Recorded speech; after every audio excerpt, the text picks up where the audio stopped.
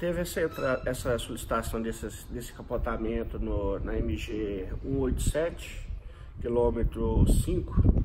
É, na chegada da guarnição, a vítima já havia sido conduzida por terceiros, é, permanecendo só o veículo no local. Fica na, depois da, da, do distrito de Salita de Minas, é, na, conhecida ali naquela, naquelas curvas que tem ali, né, logo após o distrito foi conduzida por terceiro, segundo informações lá de parentes que estavam no local, sem gravidade.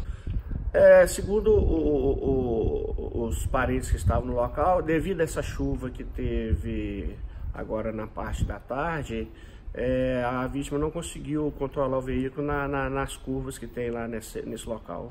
Qual o veículo envolvido? Era uma caminhonete Ranger